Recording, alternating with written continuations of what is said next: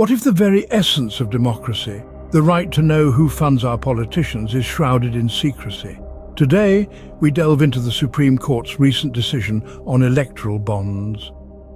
Imagine a kind of financial instrument, an electoral bond, which is like a promissory note that can be bought by any Indian citizen or company from select branches of the State Bank of India. They can then donate this bond anonymously to any political party of their choice. Sounds simple, right? But on February 15, 2024, the highest court of the land shook the political landscape of India by unanimously deeming this scheme unconstitutional. This decision has far-reaching implications for how political funding, the very lifeblood of democracy, operates in India. This landmark judgment has sparked intense debates, throwing light on the opaque world of political funding. Now let's examine the arguments that were made for and against this decision. The Supreme Court's decision was not made lightly. Several compelling arguments were presented in its favour. The first argues that the anonymity of donors granted by the electoral bond scheme directly violates the citizen's right to information. This lack of transparency could potentially obstruct voters from making informed decisions, paving the way for undue influence and potential corruption within political parties. Secondly, the court expressed concern that the scheme may provide an unfair advantage to incumbent parties. With greater access to corporate funding channels, these parties could potentially undermine the level playing field in elections, thereby weakening the very essence of democratic principles.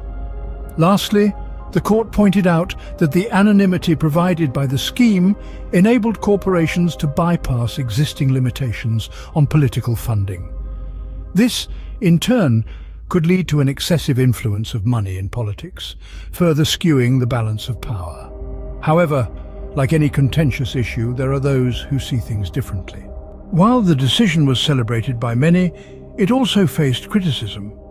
Here are some of the counter-arguments. On one hand, proponents of the scheme argued that it helped curb black money in political funding. They pointed out that the scheme offered a transparent and anonymous way for donors to contribute, which they believe discourages illegal sources of funding.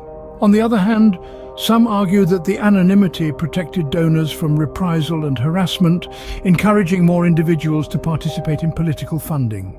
They claim that this expands the pool of contributors and strengthens diversity in funding sources, Lastly, concerns exist that enforcing strict disclosure requirements could create an administrative burden for political parties and the Election Commission. These opposition voices believe that the scheme, despite its flaws, had certain advantages that should not be overlooked. The divide in opinion underscores the complexity of this issue.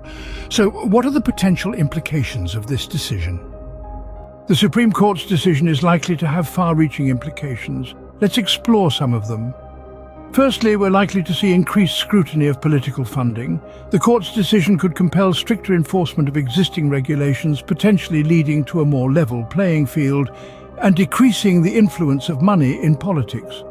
Secondly, there's an urgent need for alternative reforms. The government must find new ways to reform political funding that address the court's concerns while also ensuring transparency and fairness. This could involve stricter disclosure requirements, limits on corporate donations and exploring public funding options. Lastly, the decision could lead to political repercussions, especially for the ruling party, which has been the major beneficiary of the scheme. Opposition parties may press for stricter reforms and greater transparency. With all these considerations in mind, where do we stand now? This is a question that will shape the future of Indian politics and democracy. The Supreme Court's decision on electoral bonds is undeniably a landmark judgment. It's a pivotal moment that has reshaped political funding in India, having struck a balance between the need for transparency and the desire to curb black money. The court's stance on the violation of the right to information, the potential for an unfair advantage to incumbent parties and the circumvention of existing regulations has shone a spotlight on the need for comprehensive reform.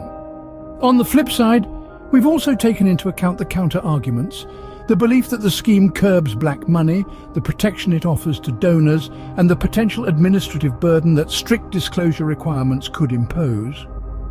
In the wake of this decision, we foresee increased scrutiny of political funding, a need for alternative reforms and potential political repercussions. But remember, this analysis is just a starting point. The full implications of this decision and its potential impact on Indian politics are yet to be seen.